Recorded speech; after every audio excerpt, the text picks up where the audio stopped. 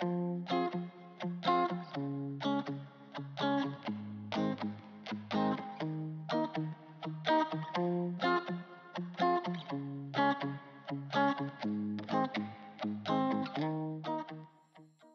everyone this is Ankur and welcome back to a channel दोस्तों, मैं अभी Varanasi airport पे और ट्रैवल करने जा रहा हूँ बेंगलोर के लिए। और ये 2021 की मेरी पहली फ़्लाइट जर्नी रहेगी। तो आइए चलते हैं एयरपोर्ट के अंदर और देखते हैं फ़्लाइट जर्नी अपनी कैसी रहने वाली है। मैं अभी एयरपोर्ट के बाहर हूँ और आप देख सकते हो यहाँ का व्यू बहुत ही बड़े में है वाराणसी एयरपोर्ट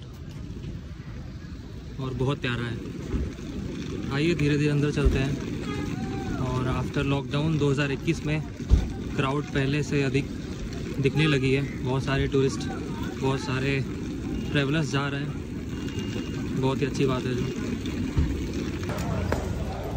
और मैंने मास्क लगा लिया है एयरपोर्ट के अंदर जाने के पहले बिकॉज़ प्रिकॉशन बहुत ज़रूरी है। तो यहाँ पे डिपार्चर के लिए दो गेट है D two and there is D one तो डी टू अभी क्लोज है तो हम जाएँगे डी वन की तरफ़ और वहाँ से अंदर जाते हैं एयरपोर्ट के। तो ये है डी वन गेट तो आइए अंदर चलते हैं और सिक्योरिटी चेक इन करा लेते हैं।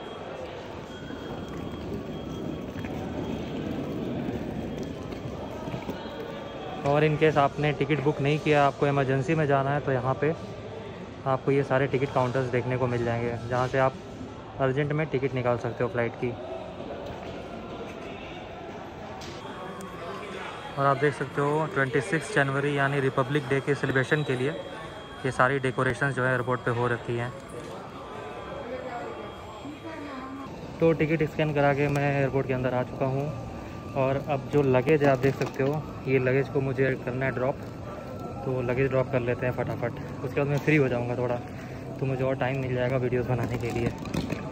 इसके थ्रू मैंने प्रिंट निकाल लिया अपना टिकट का सो दैट मुझे काउंटर पे नहीं जाना था मैं यहाँ से प्रिंट ले चुका हूँ। अब मैं सीधे जाऊँगा इस लगेज को ड्रॉप करने के लिए। तो यहाँ पर आप देख सकते हो, ये सारे जो है काउंटर्स हैं, जहाँ पर मैं अपने लगेज ड्रॉप कर सकता हूँ। तो इसको ठिकाने लगा देते हैं पहले। एयरपोर्ट पे लगेज मैंने जमा कर दिया है। तो 15 के वेट था तो कुछ ज़्यादा नहीं था तो मुझे कुछ खास टेंशन नहीं लेना पड़ा है वेट का ऊपर नीचे। और जमा करने के बाद मुझे इंडिगो ने ये दिया हुआ है फॉर कोरोना वायरस सेफ्टी जिसमें मास्क है और ये हेड का पूरा शील्ड रहेगा। और सैनिटाइज़र्स के, आप देख सकते हो, ये पाउच है। तो इसका यूज़ करने वाले हैं हम लोग एयरपोर्ट से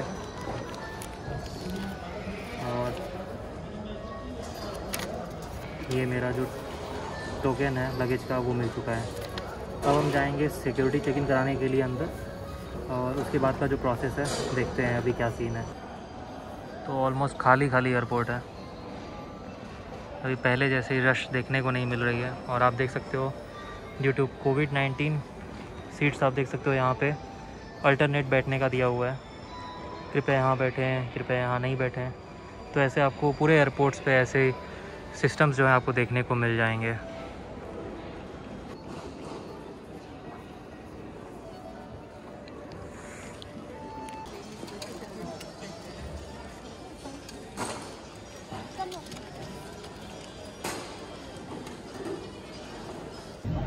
फाइनली अपनी सिक्योरिटी चेक इन डन हो गई है। यार लाइन बहुत लंबी थी तो थोड़ा टाइम लगा है होने में, क्योंकि सारे लोग आ गए थे और एक फ़्लाइट भी थी दिल्ली की। तो उसके लिए सारे लोग थे तो पहले उनका हुआ, उसके बाद अपना नंबर आया बेंगलोर वालों का। और आराम से बैठ गया हूँ मैं। शाम के अभी फाइव थर्टी हो रहा है और सेवन पी की मेरी फ़्लाइट है तो अभी टाइम है अपने पास। और आप देख सकते हो, ये साइड में शॉप भी है। तो आपको यहाँ का वाराणसी एयरपोर्ट के जो शॉप्स हैं, आपको दिखा देता हूँ क्या क्या अगर आप वाराणसी एयरपोर्ट पे आते हो तो आपको कौन कौन सी चीज़ें देखने को मिलेंगी, इसको आप परचेज़ कर सकते हो। लखनऊ चिकन शॉप रमशा कासबर्ग बट ये वो वाला कासबर्ग नहीं है। और ये है डब्लू मान्यवर, और हाई डिज़ाइन बहुत सारे शॉप्स हैं यहाँ पे, जैसा कि आप देख सकते हो। बट मुझे कुछ भी परचेज़ नहीं करना है, सिर्फ़ जाना है।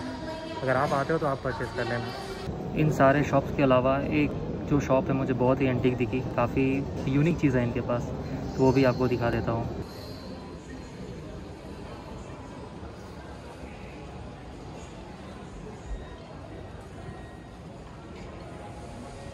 यहाँ पे सारी चीज़ें यूनिक है। ये है अशोक स्तंभ। भारत का सत्यमेव जयते।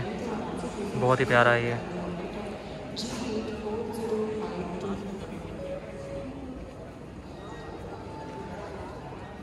और ये है हमारे Ganpati Bappa Morya.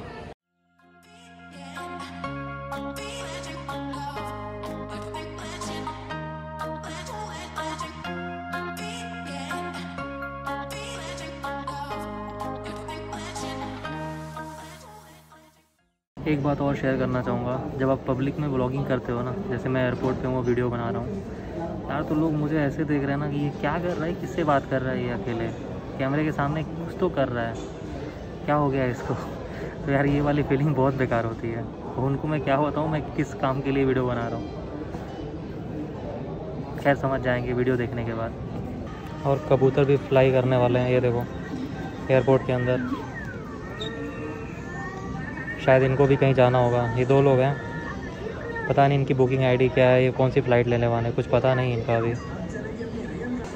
Gate number one, two, three नीचे है और फोर, फाइव, सिक्स के लिए आपको ऊपर जाना पड़ेगा वो स्टेयर्स के थ्रू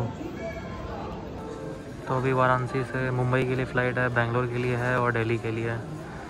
बेंगलोर वाली सात बजे की है समय पर बट अभी तक बोर्डिंग हुआ नहीं है। तो इसका ही वेट कर रहा हूँ मैं।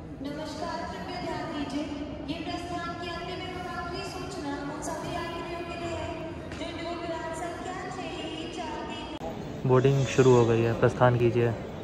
Now is time for boarding तो मुझे कोई भी बस नहीं लेके जाएगी फ़्लाइट तक मुझे खुद ही जाना है। पैदल पैदल। और वहाँ पे आप देख सकते हो वो रही फ़्लाइट और देखो आप व्यू यहाँ का। बहुत कोल्ड है अभी। वाराणसी में टेम्परेचर अराउंड 10 डिग्री करीब है। बहुत ठंड लग रही है। The loose end to open, lift the buckle. Keep your seatbelt fastened at all times. In case of low cabin pressure, oxygen masks will drop automatically from the panel above. Pull a mask down sharply to start the oxygen flow. Cover your nose and mouth and breathe. दोस्तों after traveling two and half hour, finally I arrived Bengaluru airport. अभी यहाँ से luggage ले लेते हैं उसके बाद निकलते हैं आउटसाइड अपना लगेज है बेड नंबर सेवन पे तो बेड नंबर सेवन आगे है उधर कहीं पे तो वहाँ से लगेज ले लेते हैं